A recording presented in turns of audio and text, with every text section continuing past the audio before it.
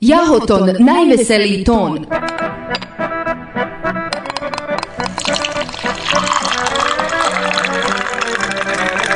Džezvenjak.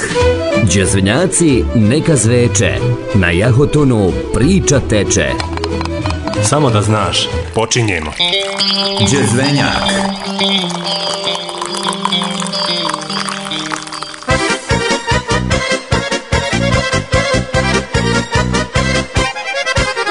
Jednog dana dok je drvosječa sjekao granu jednog drveta iznad rijeke, njegova sjekira upade u rijeku.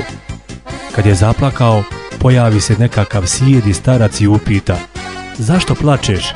On je odgovorio da mu je sjekira upala u vodu i da mu je potrebna jer tako zarađuje za život. Starac si iđe u rijeku i pojavi se sa zlatnom sjekirom. Je li ovo tvoja? upita starac.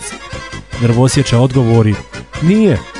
Starac ponovo siđe i pojavi se sa srebrnom sjekirom. Je li ovo tvoja sjekira? upita. Drvosječa ponovo reče, nije. Starac ponovo siđe dole i pojavi se sa gvozdenom sjekirom. Je li ovo tvoja sjekira? upita ga. Kad će ti drvosječa, jeste. Starac je bio oduševljen čovjekovim poštenjem, te mu dade sve tri sjekire i tako drvosječa sretan ode kući. Nakon nekog vremena drvosječa je šetao sa svojom ženom po obali, kad mu žena upade u rijeku. On zaplaka, a starac se ponovo pojavi i upita ga. Zašto plačeš? Drvosječa odgovori, žena mi je upala u rijeku. Starac iđe dole i pojavi se sa Jennifer Lopez. Je li ovo tvoja žena? upita starac. Da, reče drvosječa. Starac se naljuti. Slagao si, to nije tačno.